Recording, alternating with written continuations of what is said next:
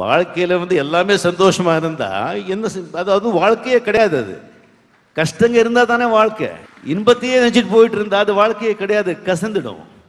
துன்பங்க இருக்கோ இருந்து தான் ஆகணும். அதுக்காக துன்பத்தை தேடி போக வேண்டாம். பட் வந்தால் ரொம்ப நொந்து போக வேண்டாம். சோதனை வரும். சாதனை எப்போ ஆகும்? நீ சோதனையை சந்திச்சாதாயா சாதனை ஆகும். ஆண்டவன் இருக்கான். நல்லவங்க வாழுவாங்க. கொஞ்சம் நேரம் ஆகும் அவ்வளோதான் அவ்வளோதான்